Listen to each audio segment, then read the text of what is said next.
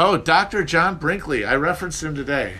Uh, Dr. John Brinkley is a fascinating American huckster. Uh, he was a guy who. he really was like the Nick Riviera of the American West.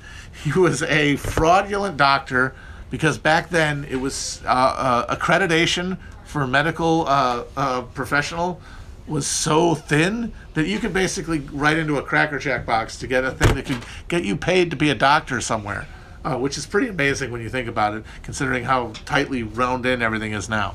Uh, but so this guy Brinkley with his Cracker Jack uh, diploma uh, creates a miracle cure for impotence, which involves the translation, the surgical implantation of goat testes into the male human gonadal sac.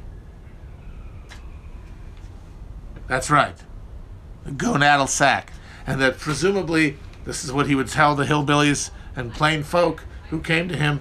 Yeah, you're gonna get the inf- you're gonna get the animal power of that goat, and it's gonna get you up.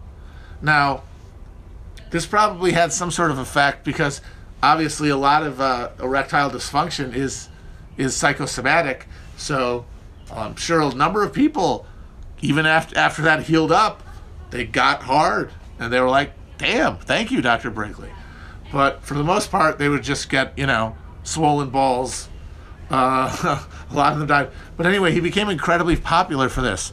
People came all over the world. He had a he had a he had a place in he had a place in Kansas. Hey, please. I'm sorry, sorry.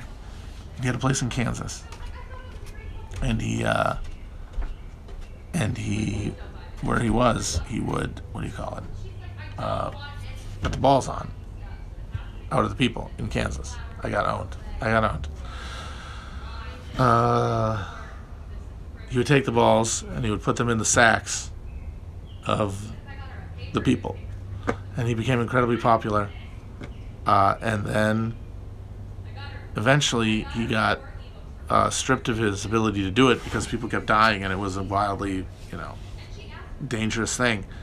And then he ran for governor of Kansas and came pretty close. He almost won. It was really like Mr. when Mr. Burns ran for governor, you know, because he wanted to stop having to pay taxes.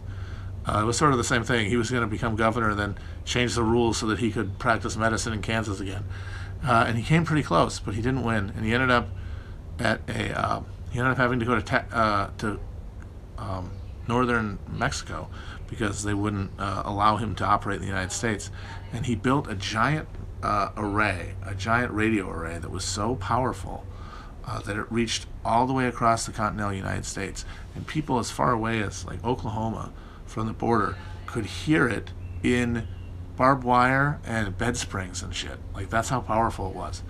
And it, funnily enough, that radio station became the place where the vast, where most people in the country first heard country western music, which was like a regional phenomenon that uh, got national exposure for the first time through his radio station. Uh, yeah, so there you go, Dr. John Brinkley.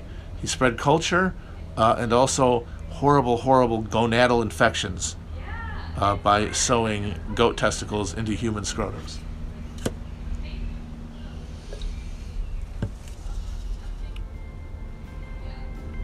I haven't had that many drinks, thank you.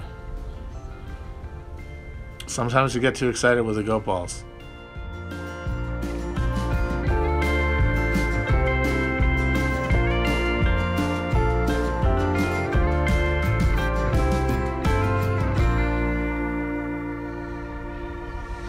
I don't want to fight my neighbor. Come on, guys. Settle down.